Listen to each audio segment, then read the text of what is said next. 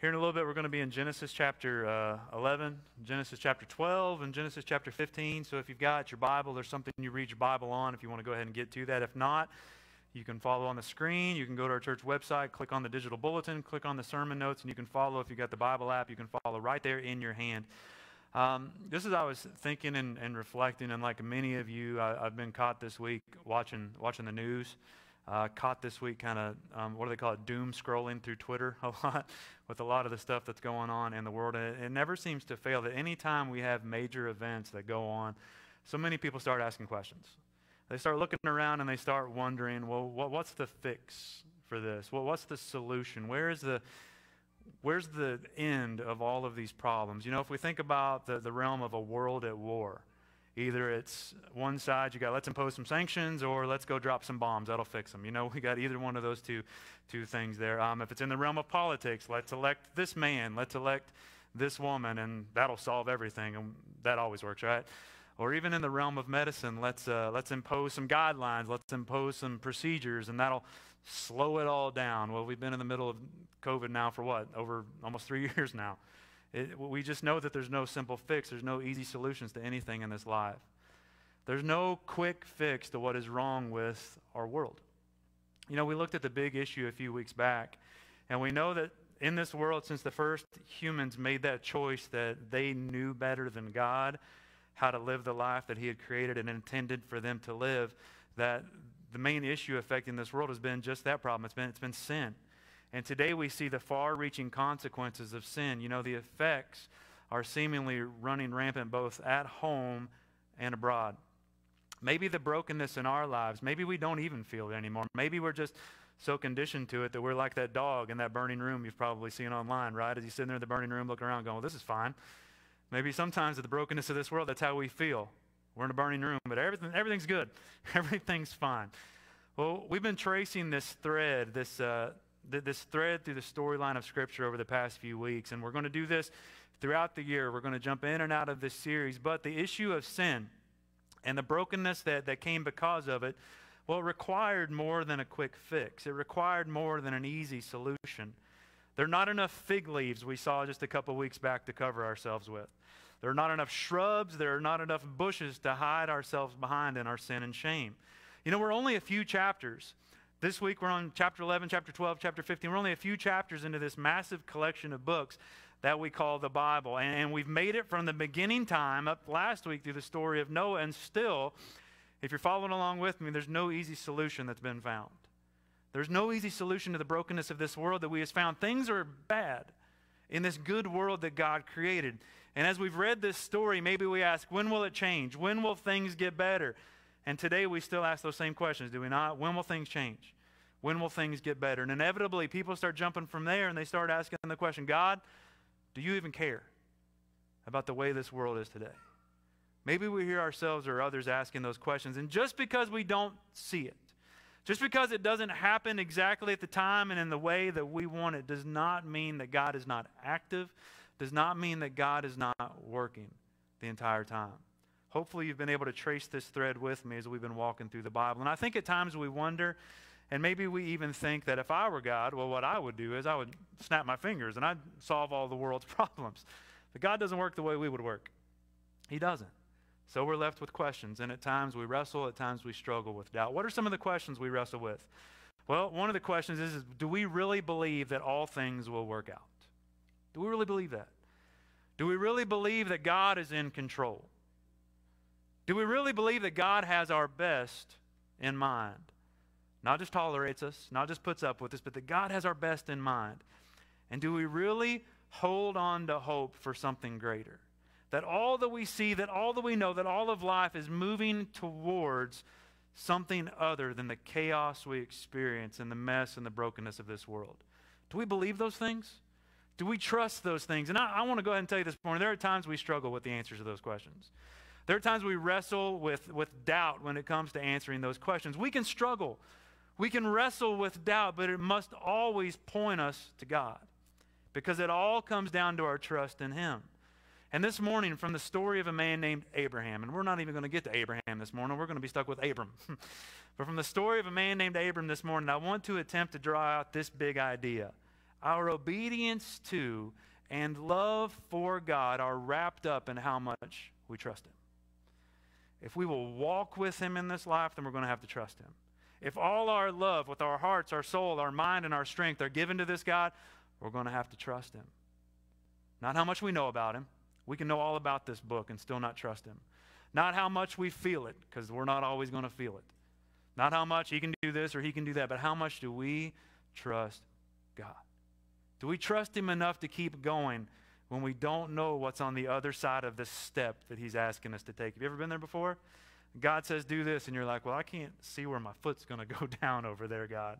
I don't know if I want to take that step. Do we trust God enough to believe that He'll come through on His promises when it looks like there is no hope? Do we trust God enough to leave behind both convenience and comfort when He says, go? See, these are the calls that people have faced throughout Scripture. And these are the same calls that many of us face in our lives today. Maybe you've already dealt with them. Maybe you've already experienced them in your life, but hopefully we can draw some of this out of the story this morning. Now, back in the olden days, when people exclusively used to watch shows from week to week on TV, you remember these days, right? Back before the days of DVR, back before the days of Netflix. If you were ever going to catch up on a show that had a cliffhanger at the end of one week, maybe it's the end of a series or at the end of a like a, a season before you get to the next season what do they always have at the next episode the recap right you would have to bide time watching. Well, I saw that last week. I don't want to watch that again. Now on Netflix, if you're watching it, they have the skip button. And, and, I love the skip button. Anytime the intro comes out, anytime the recap comes out, I don't need to know all that stuff. Skip this. I don't need to listen to the Office theme song the 18,000th time. I'm going to skip all this stuff. Well, you can't skip me this morning. you can't fast forward Matt this morning because I'm going to give you a recap of where we've been in Scripture. We're going to recap and set the stage for Genesis chapter 12, but we have to get there first. We move from creation to, to how sin is running rampant within this world. The first book of the Bible, we know it, we're in it, it's Genesis. begins with God creating the heavens, God creating the earth, and God creating everything that moved upon the earth. He created plants, He created animals, then He created us, humans, but He did something different. He created us in His image, in His likeness, to reflect His goodness in the way we work in the way we, we rule, in the way we relate with one another, in the way we even rest. Because our rest proves that God is God and we are not. So we don't always have to be doing stuff. We can have a rhythm of work and rest in this life. Well, God looked at that creation, looked at all that He had made, and He called it what? Good. That's how God looked at creation. He said, This is good or very good. The world, as God intended it, was very good. Relationships without tension. Does anybody have a relationship without tension? Work without toil. Uh, just relating with, with creation itself was something that did not have the effects of the consequences of sin yet. So, harmony on all fronts. And God takes this man and woman in this harmonious world that He has created and He puts them in this garden to work it, to subdue it, and to take care of it for Him. God was taking care of every need they could ever have. And this relationship was so intimate between mankind and their Creator that God would regularly come and spend time with them. God had given them ultimate freedom. God had blessed them to go and subdue and to multiply and to fulfill the earth but he only gave them what? The one prohibition do not eat from that one tree. Do not eat from that one tree. So God is asking them, in a sense, to do what? To trust Him, that He will care for their every need as long as they're not doing this one thing, because death will enter if they do this one thing. But I want to tell you, their trust in God, whether or not He meant what He said, was where the serpent enters to the picture, and he begins to cast doubt in their minds on the goodness of God. He distorts their words to Adam and Eve. And for the very first time, when they give in to that temptation, there's shame that enters the world. There's blame that enters the world. And there's a distance between them and one another. There's a distance between them and creation, and there's a distance between them and God. The consequences were so strong, they felt it at that exact moment as they realized in their nakedness that they were ashamed. So they covered themselves up with fig leaves. They try to hide from God, but God comes looking for them. God pursues them with his relentless love and calls out to them, Where are you? What have you done? See, their distrust in God's goodness led to their disobedience in their lives. If God really loved us, surely He wouldn't withhold this thing from us. If God really loved us, surely He wouldn't want us to go without. But because of their sin, the goodness of the created order was distorted. That dynamic in the man woman relationship, that dynamic in, in, in the man and creation relationship, that dynamic between man and God was out of sync. The serpent was cursed.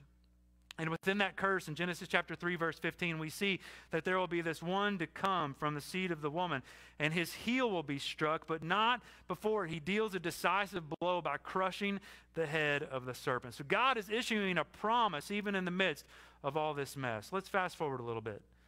Humans cast out of the garden, flaming sword and an angel blocking the way back in. God has covered them over with their animal coverings and all of that sort of stuff. But the problem of sin and the problem of their distrust in the way God was telling them to be, live in this world, it was still there. There was still a lack of trust in God's goodness and in God's word. And so it led to disobedience. It led to the first murder. And those two sons of that first human couple when Cain attacks and kills his brother Abel.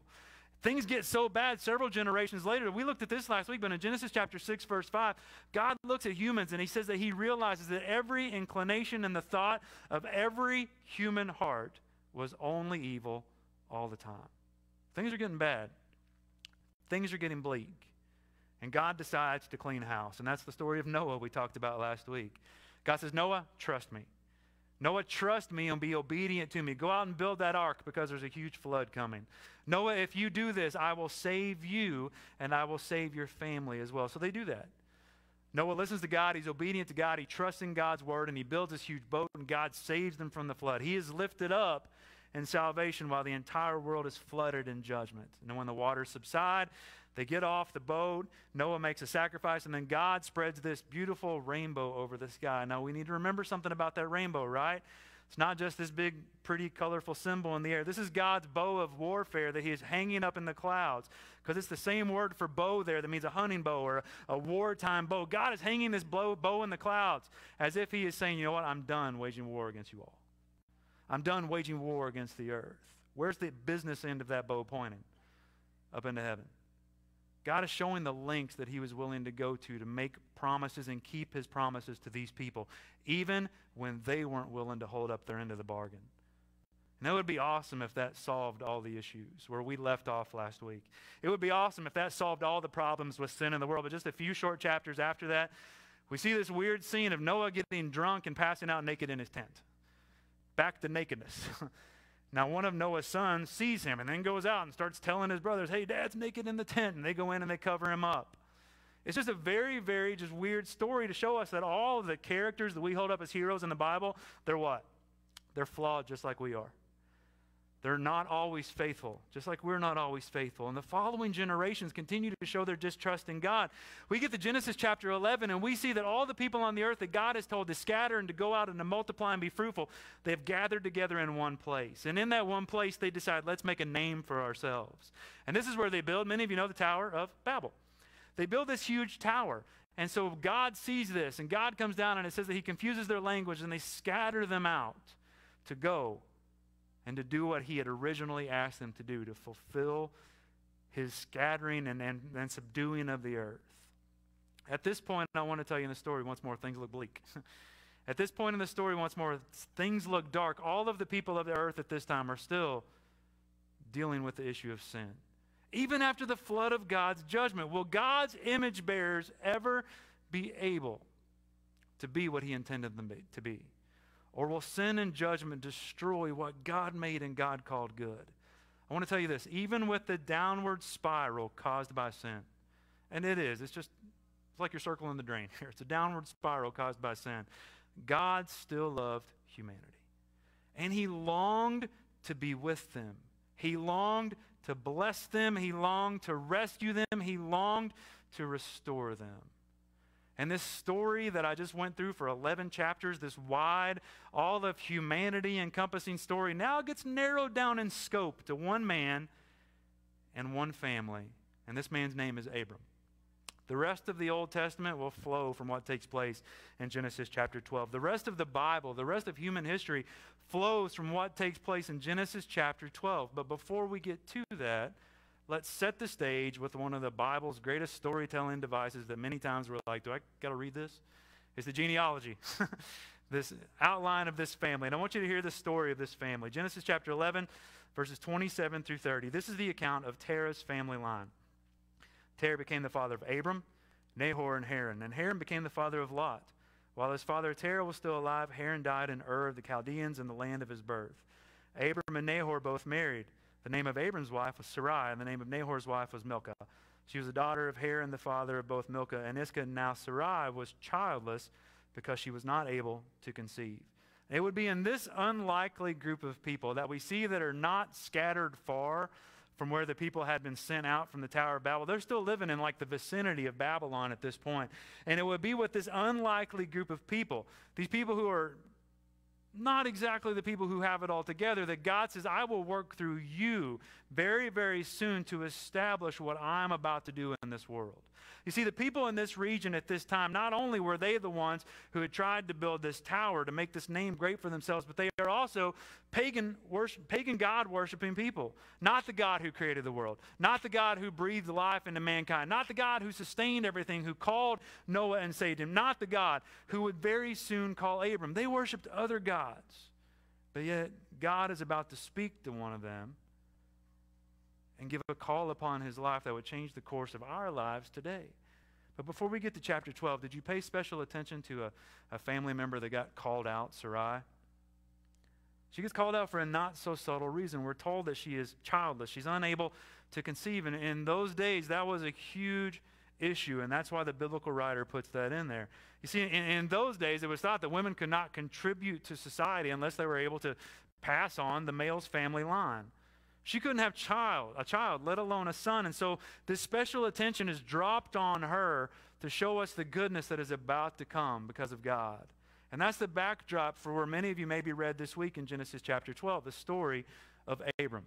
Let's pick up what God is about to do, reading verses 1 through 4 chapter 12. The Lord had said to Abram, Go from your country, your people, and your father's household to the land I will show you. I will make you into a great nation, and I will bless you. I will make your name great and you will be a blessing. I will bless those who bless you, and whoever curses you, I will curse, and all peoples on earth will be blessed through you. So, Abram went, as the Lord had told him, and Lot went with him. Abram was 75 years old when he set out from Haran. So, God makes Abram some amazing promises, and I want you to catch these promises. God is saying to him, Though childless, I will do it. I will make you into a great nation. Though the people that you have come from in Babylon, they tried to make a great name for themselves, God says, I will make your name great. Um, God says, I will bless you. You will be a blessing. And more importantly, all people on earth will be blessed through you. You're going to be hard pressed to find someone outside of Jesus that has their name on more pages or more passages of Scripture than Abraham. You're going to be hard pressed to find somebody throughout Scripture who figures into the story of Scripture more so than Jesus Christ himself. Knowing the story of Abraham and what God is up to through him in this chapter and beyond, it is essential to understanding many parts of the story of God in the Bible. But here in the beginning, Abraham is what? He's just Abram. He's older, he's, he's, he's childless, and he just hears a simple call from, from God to go, and we're told that Abram goes he goes. He steps out in faith. I just love that passage of scripture. It doesn't give him deliberating, it doesn't give him debating, it doesn't give him being like, well, God, what about this? Or God, what about that? It just says what? So Abram went. He just goes. He goes out. These promises here frame the entire biblical story. And it's pretty incredible that all of this began with a 75 year old man who has no kids. If I was in their shoes, If many of us were in their shoes, it would have been difficult for us to believe that this could or would happen. God calls. Doesn't make much sense to us, but Abram trusts and Abram goes. And we're not told that he had much to go on or much to rely on, but maybe it's that repetition over and over and over again that we read in those four verses. God says what over and over? I will. I will. I will. I will. I will over and over. And with each and every promise of God saying, I will do this, or God saying, I will do that, we are inching ever so closer to the fulfillment of Genesis chapter 3, verse 15, where God promises to crush the serpent's head. That symbol of evil, that symbol of sin, that symbol of death upon this world. We're inching closer to that fulfillment, that ultimate promise of rescue and salvation. God was going to deal with the punishment the way only He could. And we're inching ever closer to that. Why does God call Abram? It's not because he's perfect. He didn't call him because he had it all together. God looks at this family. He looks at their age. He looks at the simple fact that they have no heir to carry on this family line. And God says, I want you to be my people. And through you, I will form a people. and I will bless all people through you. See, a lot like Noah, where he was just chosen, finding favor with God, this is a story of the promise of grace. It's not earned, it's not worked for. This is God fulfilling his purposes and his promises in only the way that he could. He promises him descendants, a child, an heir. And ultimately, the promise through Abram's family line, it wouldn't be carried out from his son. It wouldn't be carried out from the son who would come from their family, but from the Son of God who would conquer both sin and death forever. And that's being set right here in Genesis chapter 12. If you will, if you could, flip just a couple pages over with me.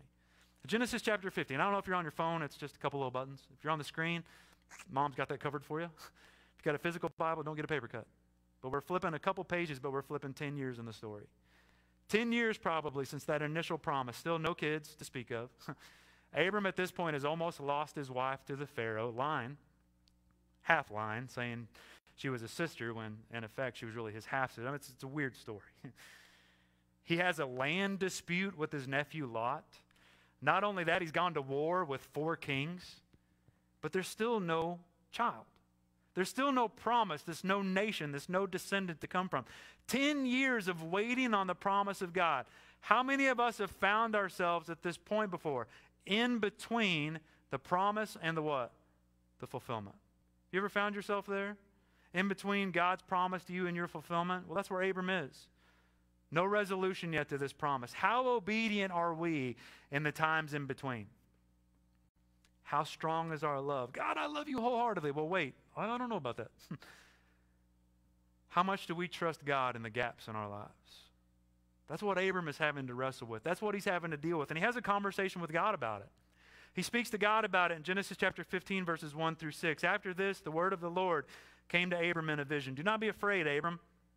I'm your shield, your very great reward. So God's speaking good stuff here. Don't be afraid. Don't worry about this stuff. I am your reward.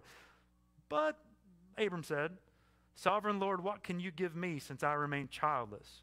And the one who will inherit my estate is Eliezer of Damascus. And Abram said, You've given me no children, so a servant in my household will be my heir. Very subtly there, Abram is trying to take the promise into his own hands. Very subtly there, he is trying to tell God, God, I know this is your plan, but maybe it could work out like this. Maybe this is plan B. Maybe this is plan C, but God doubles down. And God says, No, plan A is my plan, and it's, it's the one you need to go with. And so God says to him, This man will not be your heir, but a son who is your own flesh and blood will be your heir. He took him outside and said, Look up at the sky and count the stars, if indeed you can count them. Then he said to him, So shall your offspring be. Abram believed the Lord, and he credited to him as righteousness. If we were as open and as honest in our lives as Abram is with God right here, there are probably times we may admit that the promises of God, they, they don't look too promising to us. In the midst of Abram's doubt, he speaks to God about it. In the midst of Abram's doubt, he calls out to God about, about his trouble. But God, once more, he, he doubles down on that promise. He says, Abram, not only are you going to have a son, not only are you going to have descendants, not only will there be this nation, but they're going to be uncountable. They're going to be just number without end. You can't even imagine what I'm about to do. So, Abram, believed. He believed. I love those two passages of scripture together. Genesis chapter 12, verse 4, where so Abram went. And then right here, after all of this big stuff that God is talking to just as Abram believed. He simply believed. Then something amazing happens. It's, it's weird. It's, it's some wild imagery, but let's read this story together. Genesis chapter 15, let's start in verse 7. God also said to him, I am the Lord who brought you out of Ur, the Chaldeans, to give you this land to take possession of it. But Abram said, Sovereign Lord, how can I know that I will gain possession of it? Still questioning, still wondering, how is this going to be? I believe you, but how's it going to happen? So the Lord said to him, Bring me a heifer, a goat, and a ram, each three years old, along with a dove and a young pigeon. Abram brought all these to him, cut them in two, and arranged the halves opposite each other. The birds, however, he did not cut in half. Then birds of prey came down on the carcasses, but Abram drove them away. As the sun was setting, Abram fell into a deep sleep, and a thick and dreadful darkness came over him. Then the Lord said to him, Know for certain that for 400 years your descendants will be strangers in a country not their own, and that they will be enslaved and mistreated there, but I will punish the nation they serve as slaves, and afterwards they will come out with great possessions. You, however, will go to your ancestors in peace and be buried at a good old age. In the 14th generation, your descendants will come back here, for the sin of the Amorites has not yet reached its full measure. Now, when the sun had set and darkness had fallen, a smoking firepot with a blazing torch appeared and passed between the pieces. On that day, the Lord made a covenant with Abram and said, To your descendants I give this land, from the Wadi of Egypt to the great river, the Euphrates, the land of the Kenites, Kenizzites, Kadmonites, Hittites, Perizzites, Rephaites, Amorites, Canaanites, Girgashites, and Jebusites, all the ites. God is giving you and your descendants this land. Now, this is a weird picture and a weird scene. Animal carcasses, uh, torches and fire pots and thick and troubling darkness, all this sort of stuff. But this was actually a pretty well known ceremony within those days and within that region. This was the symbolism of a covenant. You remember last week we talked about a covenant where God made this promise with Noah. It's a binding agreement between two parties. And this exact ceremony, kings, if they were having a border dispute, they would make a treaty and they would do this ceremony. Um, fathers of, of brides to be and grooms to be would actually do a treaty like this or a covenant like this when their kids were about to get married. The lesser of the two members of the covenant will be responsible for getting the animals the cow, the goat, and the ram. They would slaughter them, split them in half, put one over here and one over there. Now, with the dead animals here, I know this is disgusting, and the blood just rushing down the middle of the aisle, the lesser of the two, or the lesser of the two parties, or the greater of the two parties would first walk through it. And after they would walk through it, then the other would walk through it. Now, what this was symbolizing was this if I break my word to you, if I break this covenant to you, then may it happen to me as it has happened to these animals. In essence, they are saying, I'm, I'm going to die if I break this covenant. That's what they're saying. Now, think about what's going on here. God's the one who made the promise to Abraham, right? He's the one who made the promise. Abram believed, but he still asks for proof. God gives him proof by setting up this ceremony. This thick and dreadful, this terror of a sleep just falls upon Abraham. And God continues to make promises about his descendants. Now, Abram, as the lesser party in this covenant, was the one who got the stuff together. But God, is the greater party of the covenant, he walks through first. That's that symbol of the, the fire pot and the blazing torch. That is the presence of God symbolized in Abram's dream, walking through those two pieces. I want you to think about this real quick. You remember how that rainbow was pointing up into heaven? With the business end of that rainbow pointing up into heaven? That's sort of what is going on here. God is once again showing the lengths that he is willing to go to. God is in essence saying, Abraham, Abram, if I don't keep up my part of this bargain, then may it happen to me as it has happened to these animals. He isn't threatening Abram, saying, You keep this covenant or else. He's saying, I'll keep this or else. Now, if we stop there and we know this ceremony and this tradition, it would be the time for Abram to go through to where he would walk through and also say, Well, God, I'm going to keep at my end of the bargain too. God, I'm going to lay my life on the line and say, If I don't keep it, may I be ripped apart like these animals. But in this story, did Abram walk through? No. He didn't have to. He didn't have to walk through because God alone would be responsible for keeping up his end of the bargain. A couple questions I have here. God can't die, right? God can't die? No, he can't. So why does God maybe go through with this? Why does God go through with a, a, charade maybe if he can't die? Because God is proving to Abram in terms that he could understand that he cannot lie either. God's promises are true. His word is true. It is trustworthy. And he's saying, Abram, even if you can't see it yet, I know it's been 10 years since I made that promise. Even if you can't say it yet, I'm willing to show you the lengths I am willing to go to if this promise does not ring true. God is showing Abram that he can trust him. And the exact same thing is true for us today. God's word is still true. Do you believe it? Do you still believe that God's word is still trustworthy, that we can trust him? even when we can't see it. Been there. How, God? Why, God? Even when we can't see it, we can count on Him. So God would honor His end of the deal, would He not? Just a few chapters later, and we're going to jog our way over to that next week. You can run if you want, you can go ahead, but we're going to get there next week with this descendant who would come. God would honor His end of the bargain. He would give Abram not only a son, but He would give him the land that He was promising. Abram and his family, they weren't always faithful to God. In fact, many ways, they were faithless. And we will walk through that story together someday.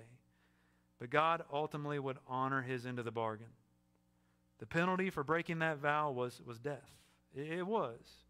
But God didn't break it. Who broke the terms? We did. We still do over and over when we sin. When we choose that we know better than God to do the things that we seek to do in this life, when we say, God, I, am not going to do what you've called me to do. God, I, I think I know a little bit better than you about the way Matt's life is supposed to go. We break it all the time. But the penalty's already been paid. You see this weird scene in the middle of the story of Abram before he becomes Father Abraham, who had many sons, and I am one of them, and so are you. So let's just praise the Lord. In the, in the middle of this weird scene, in the middle of this story, God is pointing us to the death of his son on the cross, taking the blame that we deserved so that we could be made whole, so that we could receive the blessings that were promised to Adam and Eve in Genesis chapter 3. So that we could receive the promises that were given to Noah in Genesis chapter 9. So we could receive the promises that were given to Abram in Genesis chapter 12, Genesis chapter 15. So you and I can receive all the promises of Scripture. Not because of anything we have done. In fact, we don't deserve it. But because of what Jesus has done. God is still faithful to fulfill his promises to us. God is never faithless, even if at times we are. You know, like Abram, like so many others throughout the story of the Bible, we have been called by God. We have been called out by God. We don't have to have it all together. Abram didn't, Noah didn't, I sure don't. The heroes of your faith that you look up to in your lives from years gone back, they didn't have it all together either. All they did was accept the call of God. And when God said go, they went. When God said believe, they believed. We don't have to be flawless. We don't have to have everything exactly as we think it should be. When God calls, we simply believe that He'll keep His end, no matter the circumstances. Hebrews chapter 10, verse 23, it says to hold unswervingly to the hope we profess. For what? Because you're so good at it. No. Because the one who promised us is faithful. It's not about us, it's about Him. Like, if we swerve, of course, Abram swerved. Moses, all people through the story of God. But God is faithful to forgive and put us back on track when we swerve. Lovingly, obediently walking with Him and trusting His care and His plan for our lives. Ask this morning is there some area of your life, maybe it's huge, maybe it's a little, anywhere in between, and you're doubting that God is at work in that situation? I want to tell you, doubt Doubt's not a sin. We can wrestle, we can struggle, but we should not allow those things to take us away from God. When we question, when we ask, when we wonder, all of those things should drive us to God and not away from Him. I invite you this morning in a time of response to seek Him for answers this morning to your nagging concerns and doubts. Maybe they're overwhelming in your life, but once you seek Him, trust in the answer He provides. Trust in his call upon your life. And then, like Abram, walk in it. It's not enough to know it, you walk in it. Knowing that he goes with you each and every step of the way, even if you can't see that next step. God's there with you in the midst of it, faithfully guiding you, faithfully seeing you through. You see, the main call, the main call that God has made upon all of our lives is that call to trust in the promise of salvation. From the promises of Genesis chapter 3, verse 15, all the way through Abram and on down through the generations of descendants, God's blessings for the entire world. The solution that we started talking about at the beginning what's wrong with this world? How do we fix it? Well, the solution has been provided for us. Where all of our Old Testament characters were flawed, Jesus was perfect always obediently walking the road that his father called him to walk. But that road that led him to the cross for your sin and my sin would not be the end. Because he was raised to life so that we could be raised to new life, free from sin, free from guilt, free from shame, free to walk with him in this life. Our call, simply like Abram's, believe it. And the story of our lives, when God calls us, will it say, So Matt went? So Chase went. So any of us went. We believed, and God credited it to us as righteousness. Make sure when God calls you, even if it's a call to surrender your all to Him, you obey that call.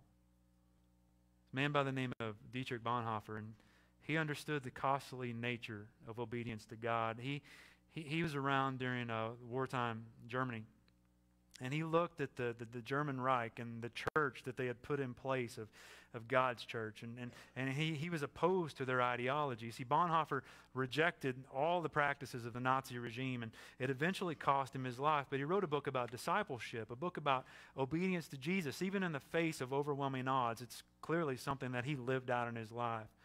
But he wrote this Whenever Christ calls, his call leads us to death.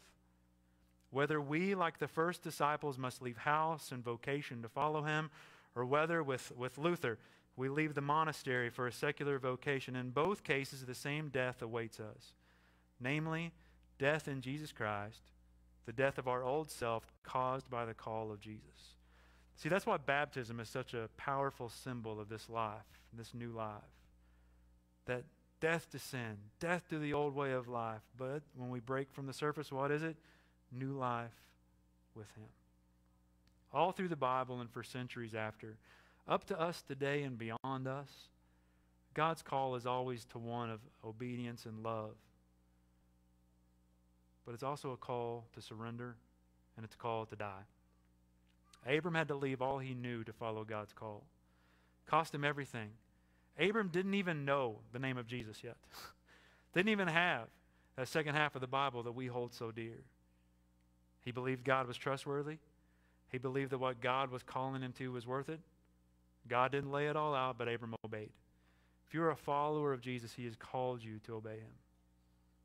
We know that's not always easy, but we know we have the Spirit of God who helps us to do that.